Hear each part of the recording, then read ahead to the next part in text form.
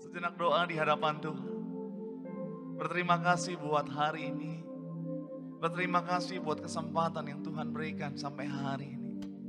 Berterima kasih buat nafas kehidupan yang masih Tuhan kasih dalam kehidupanmu.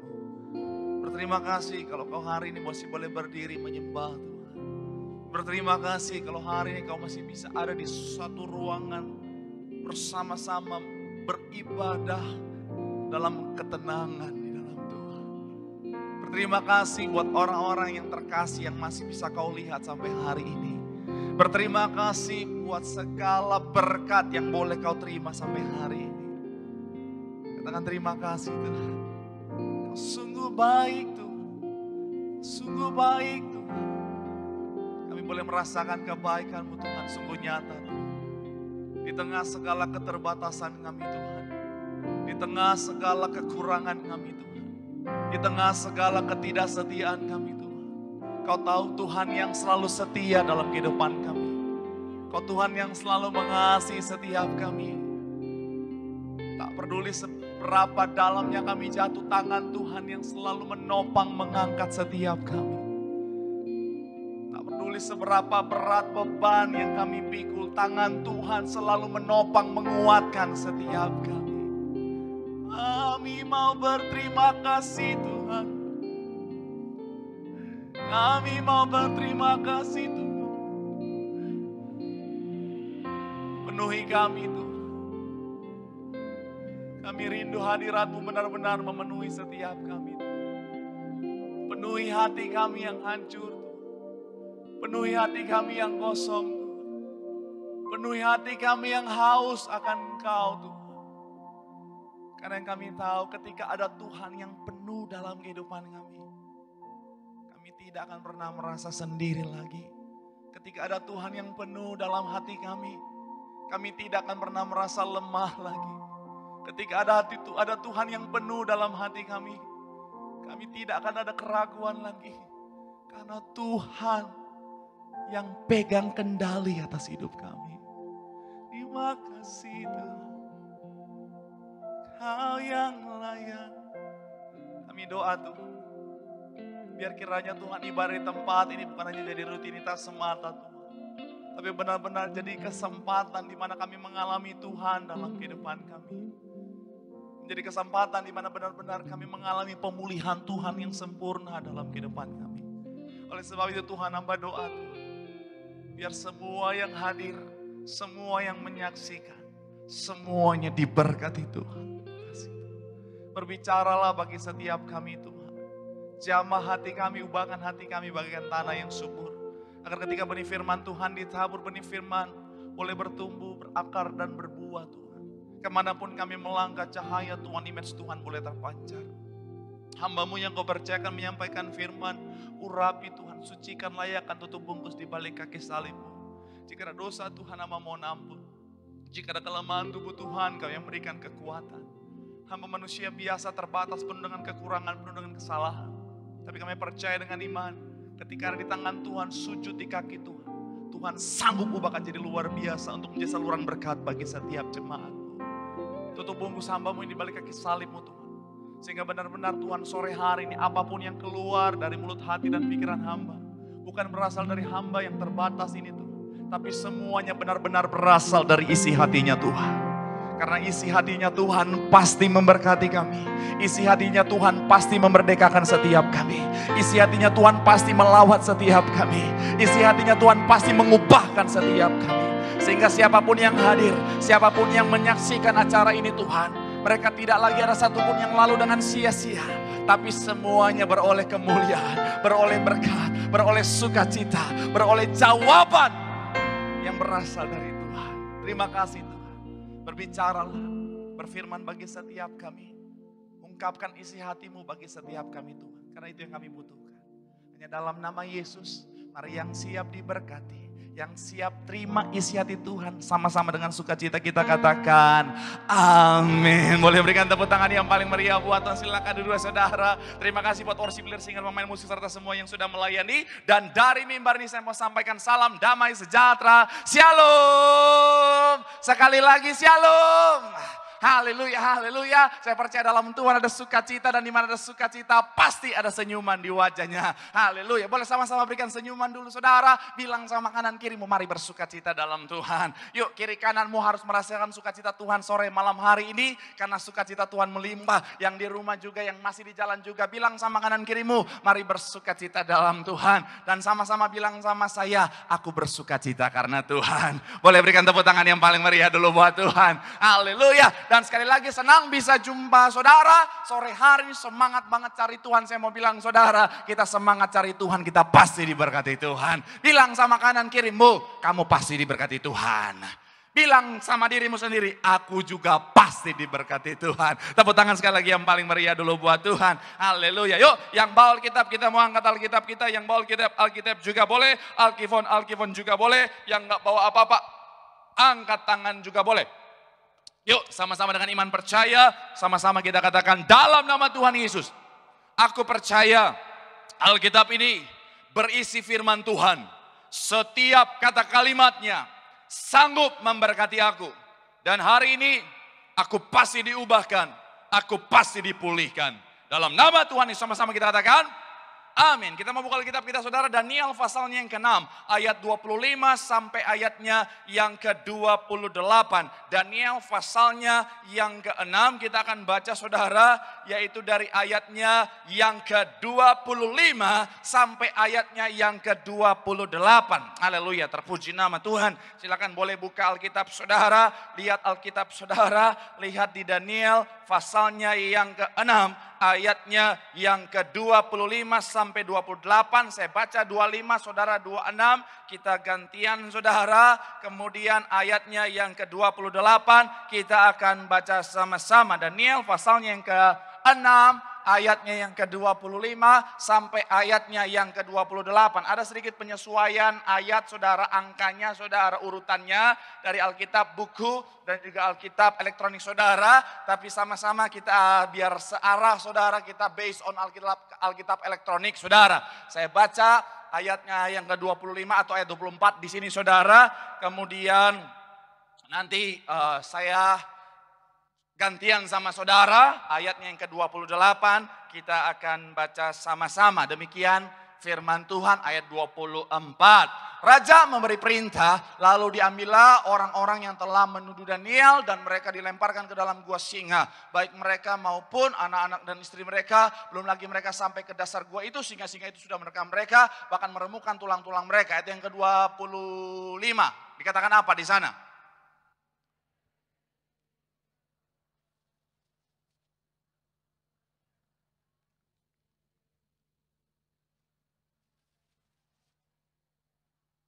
Ayat yang berikutnya ke-26 dikatakan apa? Bersama ini kuberikan perintah bahwa di seluruh kerajaan yang kukuasai orang harus takut dan gentar kepada Allahnya Daniel. Sebab dialah Allah yang hidup, yang kekal untuk selama-lamanya. Pemerintahannya tidak akan binasa dan kekuasaannya tidak akan berakhir. Ayat yang ke-27 dikatakan apa?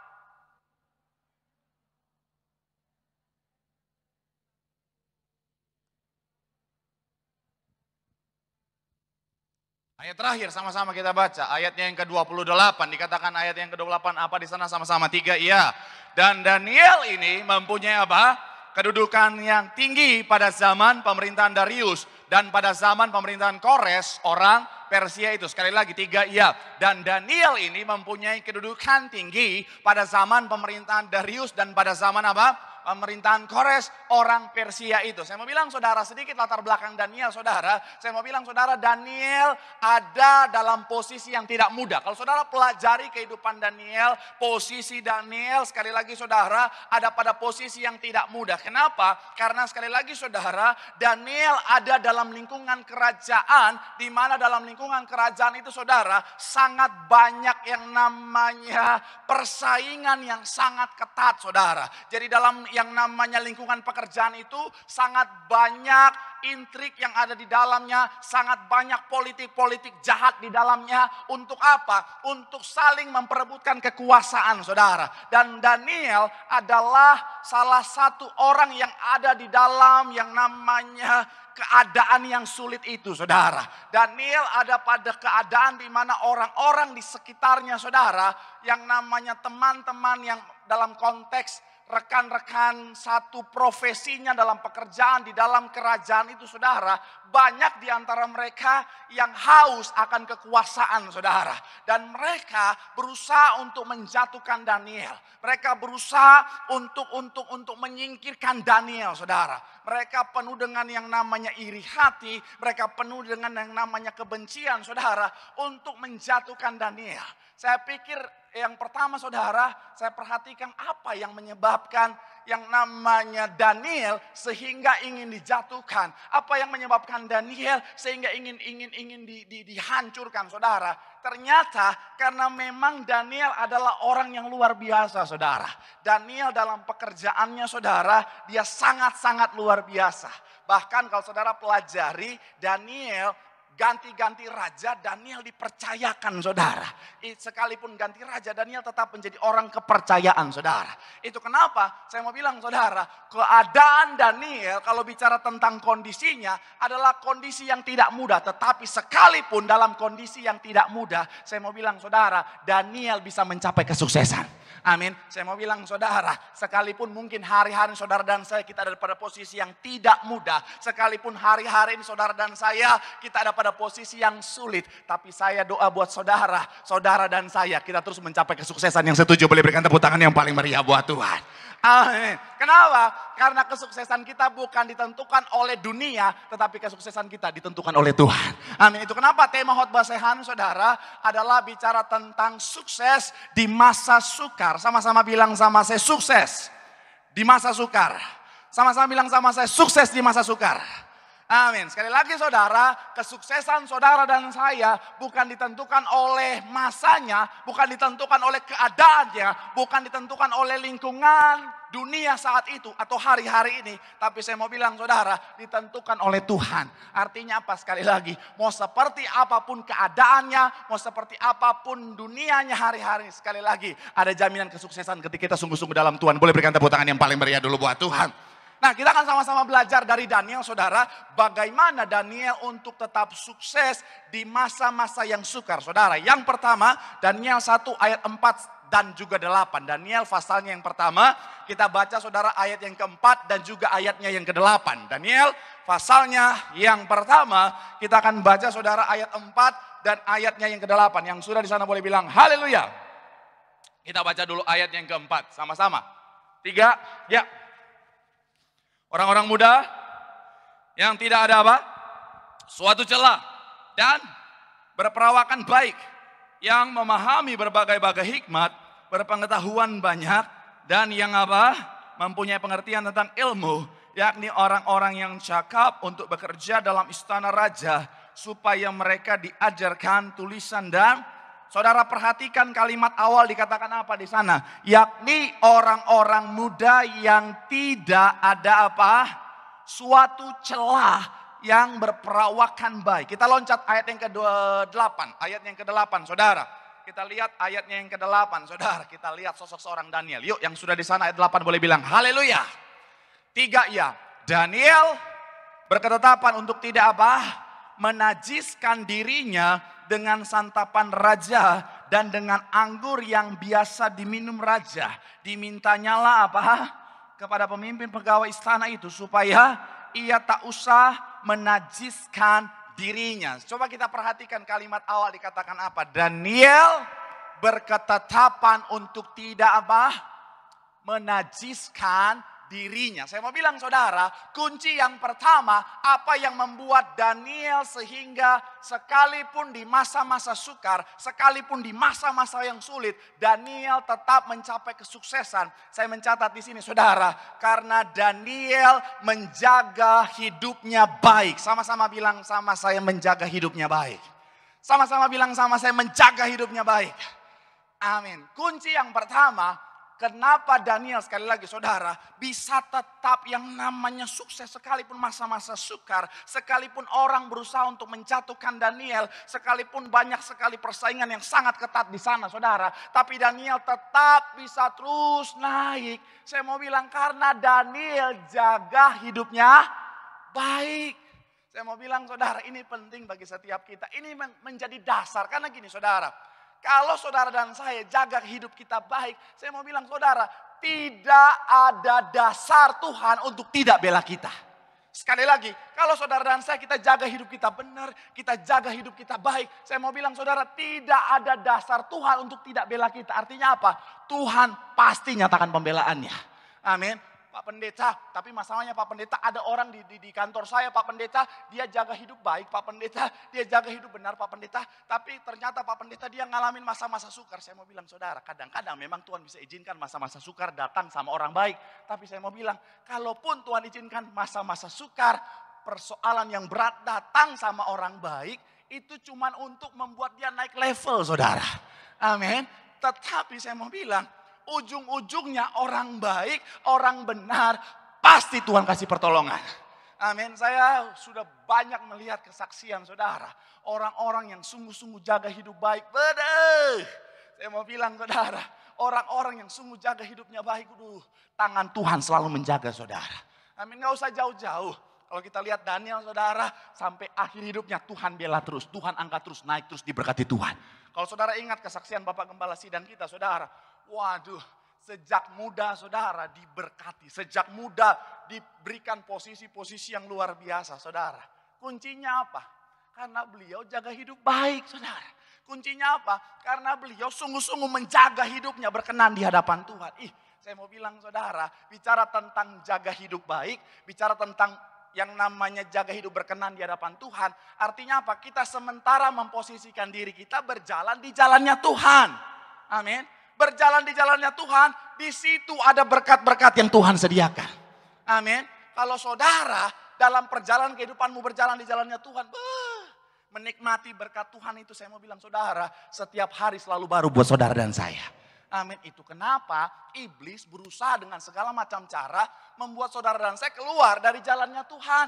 Supaya kalau kita keluar dari jalannya Tuhan, akhirnya apa? Bukan berkat yang kita terima, malah hal-hal berbahaya yang iblis sediakan, perangkap-perangkap iblis yang kita sedia yang yang iblis sediakan buat kita yang akhirnya bisa menghancurkan kehidupan kita. Tapi kalau kita tetap berjalan di jalannya Tuhan aman, Saudara. Saya pernah nonton satu film perang, Saudara. Film perang itu, Saudara, jadi ada satu daerah gitu, Saudara, yang memang ditanamin yang namanya e, ranjau darat, Saudara.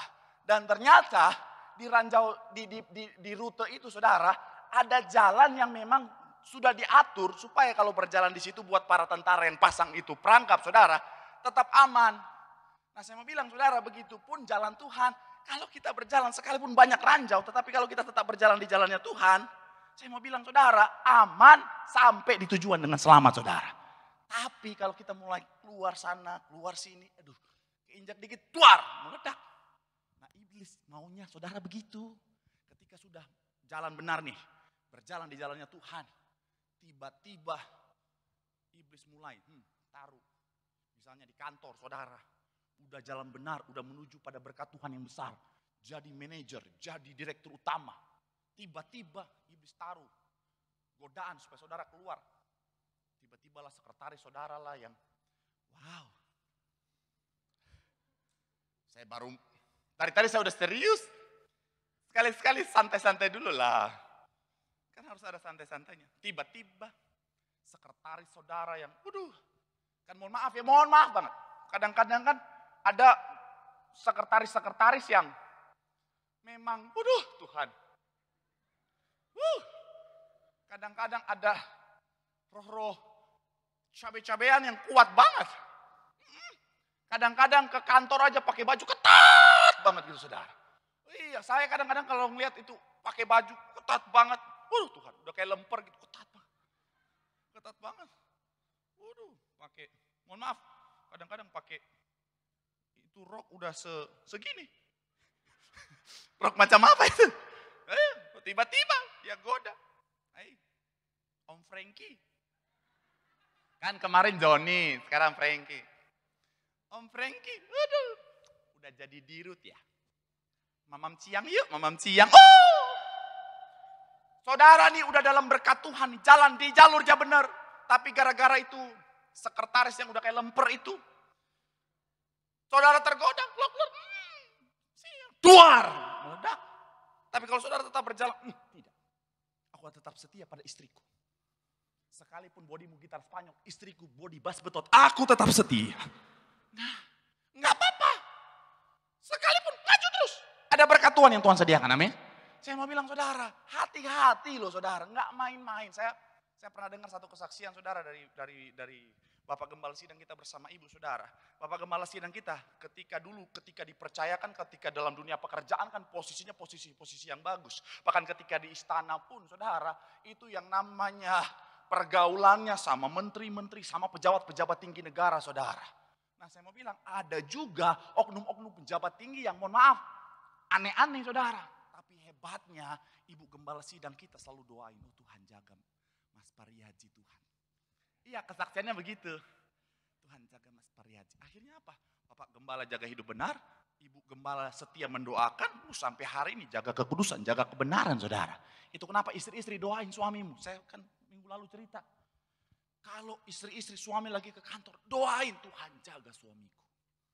Tuhan lindungi suamiku. Supaya ketika ada tuh cabai-cabean kayak tadi. Betul. Ketika dia mulai goda, oh Tuhan langsung, eh dasar kuntilanak. Cah! Out. Iya. Ketika lagi dalam perjalanan tiba-tiba ada tuh yang bonceng tiga. Hai, uh, Tuhan bilang, oh tidak benar ini tuh. Cah! Nyungsep masuk got. Aman. Eh, sekali lagi saya mau bilang sama saudara, ayo Memang dalam kehidupan kita yang namanya godaan, yang namanya udah banyak sekali luar biasa. Tapi belajar dari kisah hidup Daniel. Sekalipun godaan boleh ada, sekalipun masa-masa sukar. Tapi kalau kau hidup benar, ui Tuhan angkat hidup muda naik dan diberkati. Boleh berikan tepuk tangan yang paling meriah dulu buat Tuhan. Bilang sama kanan kirimu, ayo tetap jaga hidup baik. Bilang sama yang ngomong, kau pasti diberkati Tuhan. Tepuk tangan yang paling meriah dulu buat Tuhan. Yang kedua saudara, yang kedua kita lihat apa kunci Daniel akhirnya tetap sukses di masa sukar. Yang kedua saya mencatat di sini saudara, Daniel menjaga pergaulannya baik. Sama-sama bilang sama saya menjaga pergaulan. Sama-sama bilang sama saya menjaga pergaulan. Amin. Saya mau bilang saudara, kalau saudara perhatikan kisah hidup Daniel saudara, baca kisahnya, saudara bisa baca di rumah, jangan nonton ikatan cinta terus, baca itu Alkitab. Daniel benar-benar menjaga saya lihat wajah-wajah sinetron semua soalnya. Paling ini ada yang udah pikir, lupa pendeta, eh saya nggak tahu, tayangnya tiap hari apa sih itu? Hah? Tiap hari? Jam berapa? Setengah delapan. Oh udah ada yang, oh Tuhan, habis ini ibadah langsung mau makan, nonton Tuhan, nonton Tuhan. Eh ingat, manusia hidup bukan dari roti saja, makan-makan, apalagi sinetron-sinetron. Dengar firman Tuhan. Nanti habis itu baru sinetron. Saya mau bilang saudara, Sekali lagi sampai lupa nih, ini gara-gara ini kat cinta. Oh ya, menjaga pergaulannya baik. Saya mau bilang saudara, Daniel itu saudara, sekali lagi, dia benar-benar menjaga pergaulannya dengan baik. Karena kenapa? Di, di, di, di dalam lingkungannya dia itu saudara, ada banyak sekali orang yang jahat saudara. Orang-orang yang sekali lagi saudara tidak mengenal Tuhan. Orang-orang yang suka menjatuhkan satu sama lain. Tapi Daniel tetap menjaga lingkungannya baik. Maksudnya apa? Inner circle-nya, orang-orang yang ada di dekatnya adalah orang-orang yang punya hati baik, adalah orang-orang yang punya hati buat Tuhan, saudara. Sehingga apa? Setiap langkah yang dia ambil, sekali lagi saudara, bersama teman-temannya, adalah langkah yang membawa mereka pada kesuksesan demi kesuksesan, saudara. Karena Daniel tahu betul, lingkungan itu, saudara, sangat-sangat mempengaruhi. Saya ingat banget, pesan Bapak Gembala Sidang, untuk pilih tim aja buat kami para hamba Tuhan Bapak Gembala Sidang pesan begini, pilih tim yang benar, pilih tim yang baik. Karena kenapa? Tim pun akan sangat menentukan kualitas pelayanan pendeta, saudara. Saudara bisa bayangkan kalau saya pendeta, pelayanan. Saya melayani jemaat dengan imut-imut gitu misalnya. Dengan cara yang suka cita. Tiba-tiba saya punya tim dikit-dikit makan-makan orang. Jemaat juga nggak mau dekat-dekat saya, kabur. Amin. Saudara bisa bayangkan kalau tim saya sangat-sangat bawa-bawa golok. Nggak akan mungkin kayak minggu lalu kan puji Tuhan ya banyak jemaat yang kasih kasih kado Pak Pendeta puji Tuhan. Wah, kado. Aduh puji Tuhan haleluya. Saya suka cita lagi rasanya pengen pengen ulang tahun tiap minggu saudara. Saudara bisa bayangkan kalau tim saya galak-galak, bawa-bawa golok ke mana-mana. Yang ada juga mereka takut gitu saudara. Itu kenapa penting bagi setiap kita. Eh, enggak, enggak, enggak, enggak, enggak, enggak terbatas umur. Jangan sekali lagi bilang sama saya, Pak Pendeta, saya udah umur senior Pak Pendeta. Enggak mungkin saya terpengaruh. Eh, opa-opa sekalipun ya. Bukan opa-opa Korea ya. Bukan opa-opa Korea, opa-opa Manado. Oh maksudnya kakek-kakek gitu saudara. Kalau salah pergaulan, rusak juga. Eh betul. Ih, saya kan main TikTok kan sekarang ya main TikTok ya. Iya. Saya ngeliat ada opa-opa gaul sama uh, itu dancer-dancer. Opa-opa, mohon maaf. Udah tua, udah keriput sana sini, tapi gaul sama dancer. Akhirnya saya lihat isi TikToknya joget. Oh Tuhan opa. Nggak asam urat ini opa atau bagaimana? Pergaulan. Itu kenapa? Coba opa-opa. Walaupun mungkin dia uh, udah udah nggak aneh-aneh, tapi dikasih gaul sama anak-anak yang doyan dugem. Waduh. Tunggu aja tanggal mainnya.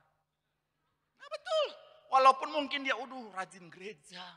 Tapi gaul sama anak-anak yang doyan dugem. Tiap hari dugem. Pagi, siang, sore, malam dugem. Wih, percaya saya. 6 bulan, satu tahun. Wih, opa udah. saya mau eh Alkitab yang ngomong kan pergaulan yang buruk merusak biasanya baik. Jaga nih pergaulan yang baik. Ah, apalagi anak-anak muda yang belum menikah.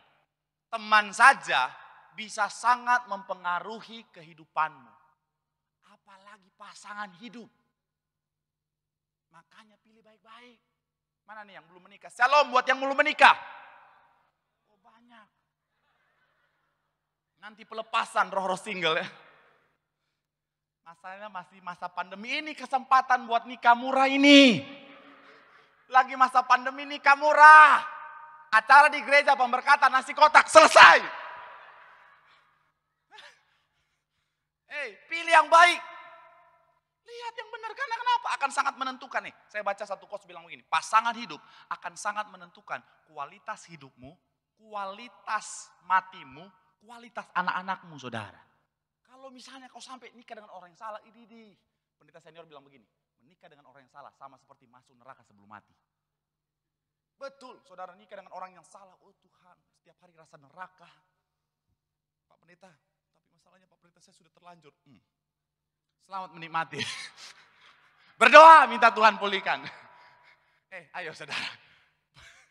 Belajar dari kisah Daniel, sukses di masa-masa sukar adalah ling lingkunganmu, inner circle, circlemu adalah orang-orang yang tepat, orang-orang yang di dalam Tuhan. Karena apa? Ketika kau ling penuhi lingkaran hidupmu dengan orang-orang yang hidup dalam Tuhan, orang-orang yang sungguh-sungguh mencari Tuhan. Saya mau bilang saudara, bersama-sama kau bisa mencapai kesuksesan dalam Tuhan. Boleh berikan tepuk tangan yang paling meriah dulu buat Tuhan. Bilang sama kanan kirimu, ayo miliki lingkungan yang benar. Tepuk tangan yang paling meriah buat Tuhan. Yang terakhir, pemusik boleh sama-sama. Naik ke atas panggung, sama-sama. Ke mimbar maksudnya. Eh bukan, betul, panggung. Mimbar di sini. Naik ke atas mimbar, naik sini semua nanti. Hey. Daniel 6 ayat 11. Daniel 11, eh, 6 ayat 11. Ada sedikit penyesuaian, kita lihat ayat 12. Lalu orang bergegas, mulai dari lalu orang bergegas. Daniel 6 ayatnya yang ke 11. Boleh munculkan. Kalau di Alkitab buku saudara ayat 12. Jadi di mulai dari lalu orang-orang itu bergegas. Kita lihat. Kunci terakhir Daniel sukses di masa sukar. Mana? Daniel 6 ayat 11 atau ayat yang ke-12 di Alkitab buku saudara. Setelah itu. Ya, ini dia. Yuk, yang sudah di sana boleh bilang haleluya. Kita baca sama-sama tiga ya. Lalu orang-orang itu apa? Bergegas masuk dan menepati apa? Daniel apa? Sedang berdoa dan bermohon kepada Allahnya. Jadi waktu itu saudara, mereka udah mau menangkap Daniel saudara.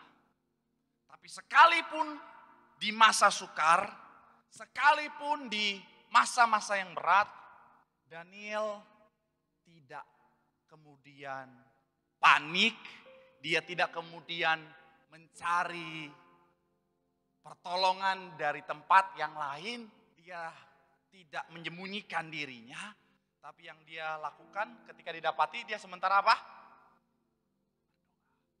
Mau bilang saudara, karena memang Daniel adalah orang yang sangat-sangat menjaga kehidupan doanya. Itu kenapa yang, ter yang terakhir, yang ketiga saya mencatat di sini saudara. Daniel kesuksesannya kenapa tetap terus naik di masa-masa sukar. Karena Daniel menjaga kehidupan doanya. Sukses berasal dari mana? Dari Tuhan. So untuk tetap sukses di masa apa pun, jaga hubungan sama Tuhan. Orang dunia aja tahu betapa pentingnya yang namanya relasi saudara. Iya kan? Orang dunia aja tahu. Relasi itu penting saudara. Kadang-kadang kita sukses. Kadang-kadang kualitas itu nomor dua. Tapi kalau kita punya relasi yang baik, itu yang kadang-kadang bisa membuat kita sukses. Nah, apalagi kita jaga relasi dengan sang sumber kesuksesan, sumber berkat, sumber pemeliharaan itu. Wuh. Roket Elon Musk kalah. Naik sukses. Uh. Daniel tahu itu. Itu kenapa dia jaga. Hmm. Doa terus. Sekalipun udah dicari, woi mana dia? Daniel sementara. Ah. Saya mau bilang saudara, di masa yang paling sukar pun kalau kau rajin berdoa. Waduh.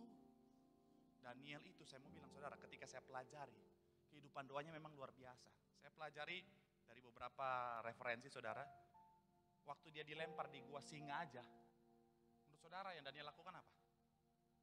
Hah? Berdoa. Daniel bukan tiba-tiba langsung belajar ilmu kebal, enggak. Tiba-tiba langsung, eh, sah aing, aing sah. Di dia. Aing macan. Enggak. Nggak mungkin Daniel berubah jadi macan. Enggak. enggak. Aing macan, aing macan, macan datang. Hai. Daniel berdoa. Tapi bukan seperti cerita anak kecil yang ketemu macan dia berdoa. Dia buka mata, macan juga lagi berdoa. Oh puji Tuhan, macan udah bertobat dia berdoa. Eh macan kenapa kau berdoa? Kata mama sebelum makan berdoa dulu ya.